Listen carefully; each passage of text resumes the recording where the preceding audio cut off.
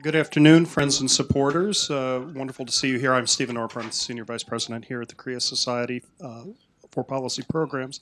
And uh, we're delighted that you can join us. We'd also like to welcome those streaming online or listening via audio podcast or viewing via YouTube video. Uh, it is a privilege today to have up on the stage uh, one of America's foremost analysts in the former Scott Snyder. Uh, Scott is back with us. Uh, some of you remember uh, in May uh, that Scott uh, was here for the release of the Japan South Korea Identity Clash. You may well know Scott uh, not only through his analyses, but through his blog, Asia Unbound, to which he contributes for the Council on Foreign Relations, as well as Forbes magazine. Of course, his career is very long and distinguished. He's also worked with the Asia Foundation and the Asia Society. And so, those of you from the Asia Society, welcome here today as well. And uh, to interview Scott, we have our president, Thomas Byrne. Uh, Tom worked with Moody's Investment before joining the Society in August. He, uh, prior to joining Moody's in 1996, was with IFI as a senior economist in Washington and is a graduate of Johns Hopkins SAIS. So thank you for joining us today, and this should be a very informative, uh, events-driven uh, newsmaker session. We're delighted you're with us. Please, Okay. Tom. Well, thanks for the introduction, uh, Steve. Thank you. And uh, thank you all for coming uh, today. I think we have a good turnout. Well, I'll just uh, jump right into the in, into the issues here. Um, and the format will be I'll ask uh, Scott uh, a series of questions, and then Scott will answer the questions and elaborate on issues that I have raised. Uh, so the first one is regarding uh, the diplomatic objectives of President Park Geun-hye's meeting with Xi Jinping in Beijing during China's uh, commemoration of this uh, 70th year since the end of World War II. Um, what are South Korea's strategic objectives uh, in uh, in President Park going to to Beijing? Uh, and then uh, related to that, was there any collateral strains to the U.S. ROK uh, relations as the U.S. did not participate in the ceremony in Beijing? Uh, well, as you know, there uh, I think was a lot of focus on the question of whether or not President Park was going to visit Mhm. uh, Beijing uh, back in August. Uh, and there's a lot of speculation actually in the South Korean media about whether it would be something that the U.S. would support or not. Mhm. Uh, I think that uh, it's pretty clear, uh, basically, um, with regard to Korea's relationship with China, I believe that the Park administration has been assiduous in um, uh, consulting uh, with the U.S. government uh, before and after almost every of the six meetings that uh, President Park has now had Mhm. uh, with President Xi. Uh, and so I think there was good uh, consultation uh, between the U.S. and South Korea. Um, but um, I, I think that the thing that happened during that period was that the tone of the U.S. China relationship began to shift in a more negative way. Mhm. Um, and of course, the main uh, focus of um, uh, South Korean diplomacy towards China is really on uh, the question of unification and on getting Chinese support uh, for unification. Mhm. Uh, and I think that's been the longstanding objective from the beginning of uh, the normalization. Uh, it's actually what I think Roh Tae-woo indicated that he uh, wanted, uh, and that it was one of the purposes of normalizing the relationship Mhm. with China back in uh, the early 1990s. Uh, and so this, I think, was uh, a main focus of the conversation that um, President Park and President Xi were able to Mhm. have uh, the day before the parade. Uh, so I think the issue that ended up being a little bit controversial was related to uh, participation in the parade and really the optics Mhm. uh, of uh, her participation.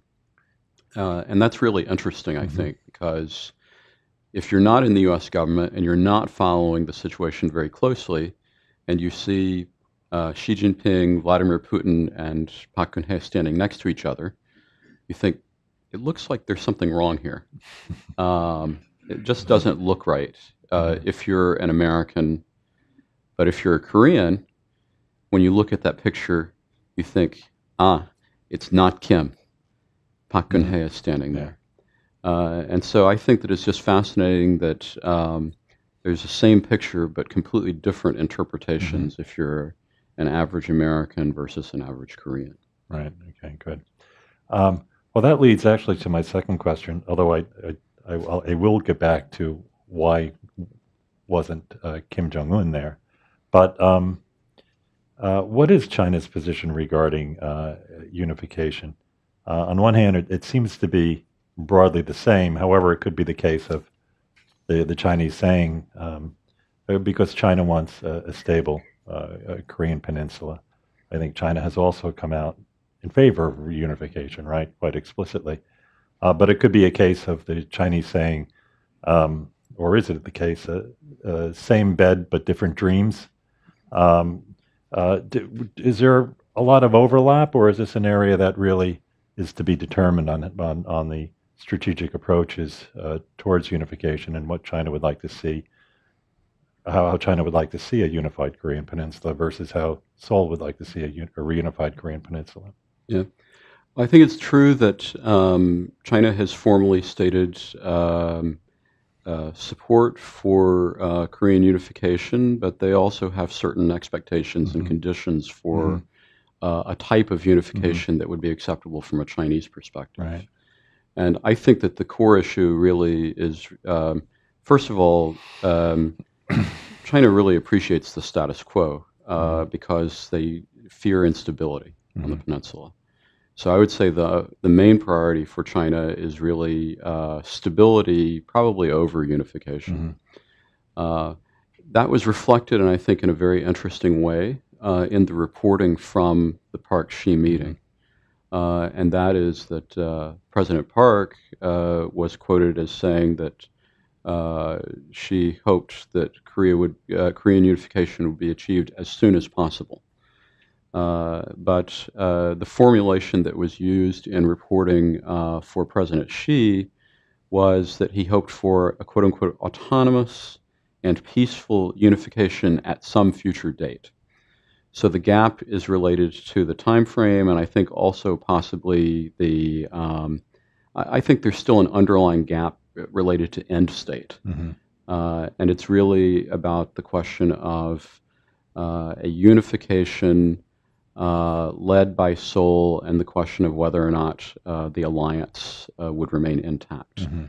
uh, you know, the I guess uh, the the clause um, that uh, al- al- always comes up in informal uh, conversations with Chinese is they want to see Mhm. a Korean peninsula that's friendly to China, Mhm. And I think the litmus test for that uh, may Mhm. be uh, the question of the durability of the alliance in the context of a unification process. Right. Okay, Good. Um, well, well, getting back to this um, uh, this insight that you had that from Seoul's perspective, it, uh, when they were looking at these three uh, world, uh, these three leaders on the podium, that the missing leader is Kim Jong Un.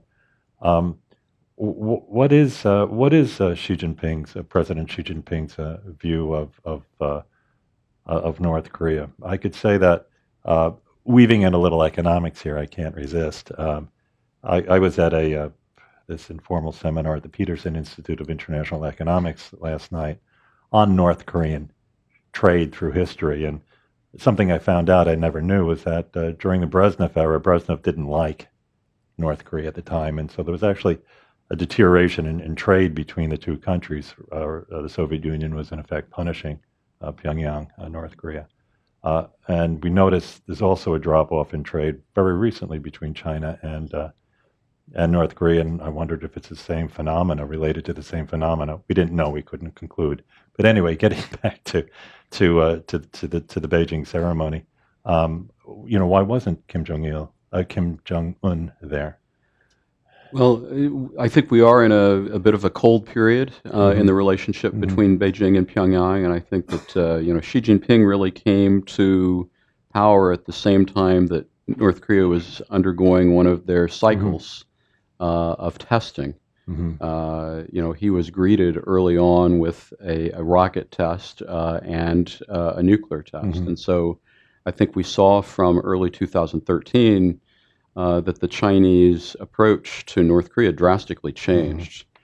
Uh, during the 2009 to 2012 uh, time period, I Mhm. think that China was really trying to hug North Korea close, uh, Mhm. and then uh, they were they they shifted uh, and uh, really tried to Mhm. put um, Kim Jong Un kind of in the doghouse. Right. Uh, and um, you know we've seen that there's been no visit by Mhm. Kim Jong Un to Beijing, and uh, it appears that, um, interestingly enough, Xi Jinping has been very steadfast in insisting uh, that an improvement in the China-North Korea relationship, uh, and especially the symbolic reward of any Mhm. kind of summit meeting, you know, would be conditioned on um, DPRK willingness to move back toward denuclearization. Oh, interesting. Uh, and Right. that has uh, not happened Right. uh, Mhm. for obvious reasons. It's part of the bedrock strategy uh, that the party has endorsed under Kim Jong un of Mhm. simultaneous economic and nuclear development. Right. right. So uh, I think that um, in this case, Xi Jinping is actually doing exactly what uh, the U.S. and others would like Mhm. uh, to see. Uh, Mm-hmm. He's actually shown a fair amount of cooperation uh, in insisting that denuclearization is a critical issue. Right, right. So China, in effect, is is has an active diplomacy vis-a-vis North Korea. It's not just disinterestedly watching developments occur and is trying to influence uh, developments. Is that accurate? Uh, I, they've prioritized denuclearization, uh, even uh, at the summit with um uh, President Obama the other day. I think that uh, President Xi made clear Mm-hmm. uh, his position on uh, North Korean um, uh, nuclear Mhm. program and and also uh, the uh, possibility of a rocket launch. Okay. Okay. Good. Interesting. Well, perhaps when we have a Q and A, and I think we have an extended period for Q and A. Hopefully, if we finish soon, uh, that that uh, we could further explore. You could further explore President Park's visit to Beijing. I wanted to turn to um, the other diplomatic initiative that uh, the South Korean government uh, has conducted recently, and that's um, President Park Geun-hye's um, speech at the UN General Assembly um, ear- earlier this week. Um, President Park's speech covered a wide range of issues, including the Saemaul Undong. I was in Korea actually when that was very active, as a model for rural development for other countries in the world today, uh, and also uh, Seoul's hosting the Green uh, Climate Fund. Uh, but I would like to ask Scott to provide insights on two, I think, uh, other perhaps more prominent or more fundamental uh, issues regarding Seoul's regional diplomacy. One is on the President's Northeast Asia Peace and Cooperation Initiative. Uh, President Park noted in her speech in the UN that in Northeast Asia, we see a deepening of the Asia paradox phenomenon, where political and security cooperation lags behind the high degree of economic and independence among the countries in the region. So, to get to my question, my question is how can South Korea, perhaps along with China and Japan, create a virtuous cycle of trust building and increased cooperation? Uh, can we look for any progress in the year ahead on this front? Well, I think that uh, this has been a very vexing issue for Mhm. the Park Geun-hye administration because I think President Park has identified the Northeast Asia Peace and Cooperation Initiative as really the solution to the Asian Mhm. paradox that she raised. Uh, and I think the premise is that South Korea can uh, actively conduct the kind of diplomacy that will bring the region together. Mm-hmm. Uh, but that's been very challenging because um, the premise underlying uh, pursuing that approach, um, you know, one has been uh, that it would be possible to move forward in inter-Korean relations. Secondly, uh, that Japan would take a correct view of history. Uh, and so the problems in the Japan-Korea relationship have Mhm. been a real sticking point that have made it very Mhm. difficult for um, the NAPCI process to really proceed. Mm-hmm. Uh, but I think that we are on a good track because one of the things that uh, President Park was able to accomplish in Beijing was to get uh, a process known as the Trilateral Coordination Mm-hmm. uh, Summit process back on track. And this is really Mm-hmm. Japan, China, uh, South Korea uh, leader level meetings Uh, it looks like uh, a trilateral leader level meeting will occur in um, maybe end of October or early November Mhm. uh, in Seoul. Uh, and alongside that, uh, it's possible that we might see uh, a bilateral summit for the first Right, time between right. Japan and South Korea. Right. And really, you know, in order for the um, the regional initiative that Korea has been pushing for a long time, in order for that to work, Korea has to have working relationships with its neighbors. Mhm. Otherwise, it really cannot be uh, uh, work toward overcoming the conflicts that are endemic to this idea of an Asian paradox. Right, right. Now, this uh, trilateral summit that's coming up in, in Seoul in October, perhaps, is this the first trilateral summit between uh, leaders of those three countries? No, it would not be the first trilateral Mhm. summit. Essentially, uh, these uh, summits were occurring uh, back really from, I think, about 2009. Uh, Mhm. They became a regular feature. So uh, I think Lee Myung-bak participated in Right, several okay. of these. Uh, but it was really interrupted by Prime Minister Abe's ascension to office and the focus on the history issue. Right, right. Uh, and so since uh, early 2013, that process has been I see. suspended. Okay, good. Um, my uh, my second question about President Park's um, uh, speech here at the United Nations is that uh, against the background of the, the the agreement that was reached in Panmunjom, uh, I think at the end of August, uh, after the uh, uh, the incident where two South Korean soldiers were, were maimed by a, a mine that North Koreans had planted. Um, well, anyway, President Park noted that the two Koreas are, in her words, standing at a junction, pointing to a cycle of trust and cooperation.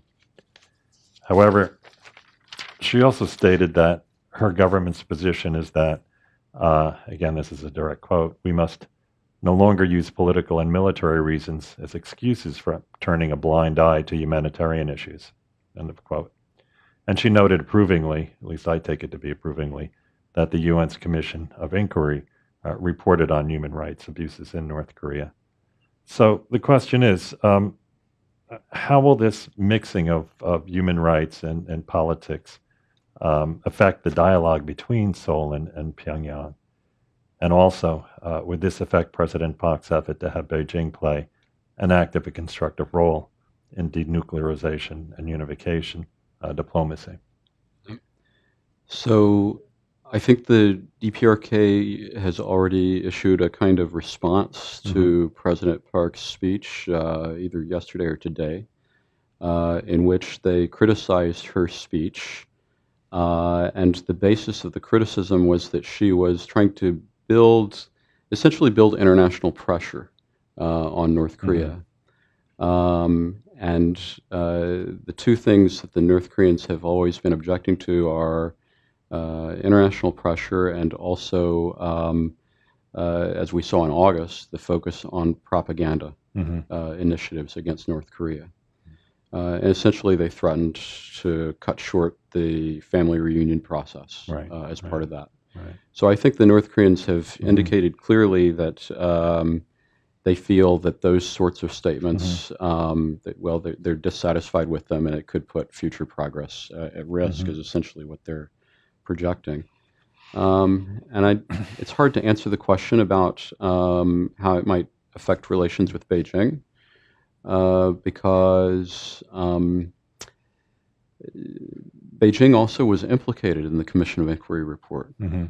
Uh, and so, from that perspective, I think China is likely to be less sympathetic Mhm. uh, to certainly the Commission of Inquiry and the focus on human rights.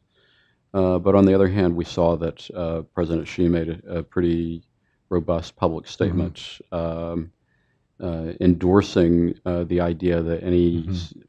launch by North Korea of a rocket should uh, be subject to the existing UN Security Council resolutions. In other Mhm. words, don't do it. Right, right, right. Okay.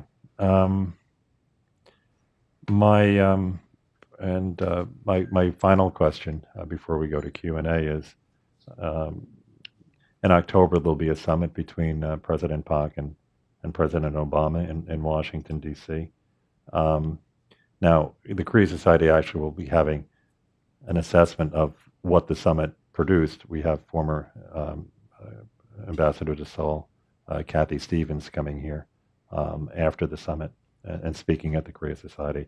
But as, as a preview, uh, what do you see the, are, the, are the main issues that will be discussed, and can we anticipate any any outcome in terms of new policy initiatives or new agreements? So I think there are three main areas mm-hmm. uh, that are likely to be addressed uh, mm-hmm. as part of the summit meeting between President Obama and President Park. Uh, the first issue, set of issues that uh, both sides have signaled uh, are being called "quote unquote" new frontier issues. Mm-hmm. Uh, and the main three um, really functional areas of cooperation that they're trying to build into the alliance relationship right now uh, focus on space cooperation, cybersecurity, mm-hmm. uh, and global health. Uh, and really, I think that what this is about is uh, the U.S. trying to encourage uh, and support South Korea's efforts to step up and make mm-hmm. contributions uh, in the international community. Mm-hmm. Uh, as you know, President Park's UNGA speech had a long list of accomplishments where South Korea has been engaged right. in that. Mm-hmm. Uh, so those issues are going to be dealt with. Uh, they are a priority of the governments, but they're not sexy. Mm-hmm. So I don't know if they're going to get that much attention. Mm-hmm. Um, the second area is actually related to this question that we've been talking about. Where does South Korea fit between China and Japan? Mm-hmm. Uh, and I, I, think that uh, this is an opportunity for the leaders to compare notes, basically, mm-hmm. on how the situation is going in Northeast Asia. Right. Uh, and then the third area, uh, as always, uh, is coordination on North Korea. Uh, and if North Korea does something between now and the summit uh, to draw attention, like mm-hmm. a nuclear test or a, a rocket launch, then mm-hmm. I think that we'll see that become the main issue that will mm-hmm. dominate the conversation. Uh, and if something like that happens, then uh, probably the officials in both, both governments are going to be um, right. very proud of their prescience in scheduling the summit right at this moment. Right, right, okay. I, just a thought came to my mind. Um, of course, South uh, North Korea has been sanctioned for um, nuclear tests and long-range ballistic missile tests. Uh, would there likely be another sanction coming out of the UN if North Korea goes ahead with a ballistic missile test? Yeah, I think it's pretty uh, clear that. Uh, so last week uh, we had in Seoul uh, uh, Deputy Assistant Secretary Sung Kim mm-hmm. Uh, talking with his counterparts. Mm-hmm. and there's been a lot of exchanges going on with the main members of the six party right. process, really focusing on what can be done right. if North Korea does something like this. And I think that the default option would be to try to strengthen sanctions. Mm-hmm. So I could imagine that this um, uh, there could be additional UN um, mm-hmm. sanctions designations. Mm-hmm. Uh, it's also possible that the U.S. might uh, uh do some further sanctions designations under uh, bilaterally mm-hmm. uh, under the executive order that was right. established back right. in January following the Sony right. hack. Right. Uh, and actually, I think an interesting area to watch also is, um, you know, as the U.S. government grapples with how to respond on cybersecurity issues related to China, I think North Korea also uh, can be enfolded into that as a potential target. Mm-hmm. Uh, and so it'll be interesting to see whether mm-hmm. there are some collateral impacts on mm-hmm. how we address those issues with North Korea as part of the debate about uh, right. how to deal with China. Right, right. And um, uh, just a, a last follow up question to this issue of UN sanctions. Um, I, I, would think we could expect uh, uh, China's um, full support, maybe too strong, but but but support to uh, further sanctions against North Korea, given the, the strains and the dissatisfaction that President Xi Jinping has shown towards uh, towards the North Korean leadership, the new North Korean leadership? So, based on what President Xi has said, um, I think that it's likely that China would support some step toward increasing sanctions. Right.